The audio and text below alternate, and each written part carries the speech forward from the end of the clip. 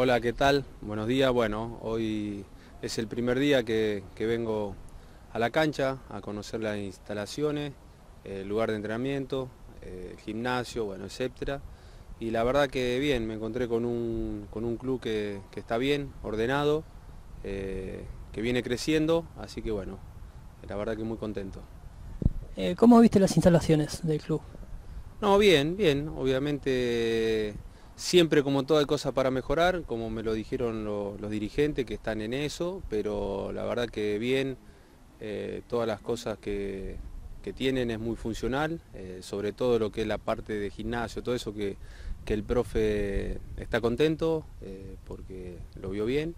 Y después, no, bien, cómodo, cómodo. donde está la cancha, donde tiene el lugar para entrenar en el golf también, que están mejorando las canchas, que es muy importante, así que veo una buena predisposición y, que las cosas la vienen haciendo bien. Bueno, es tu segunda experiencia como técnico, ¿cómo te sentís? Seguramente en algún momento vas a tener ganas de entrar a cabecear, pero vas a tener el banco de suplentes. Sí, sí, sí.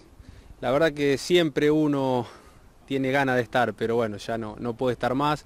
Eh, sí tratar de armar un equipo y un grupo de jugadores que, que, bueno, que se sienta la gente identificada con esos jugadores y, tratar de, mejorar a cada uno individualmente para que se vea un, equipo competitivo.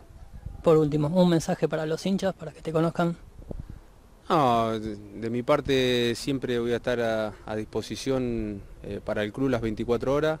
Eh, soy muy profesional, eh, de trabajar mucho, así que bueno, esas cosas se puede quedar tranquilo que va a estar.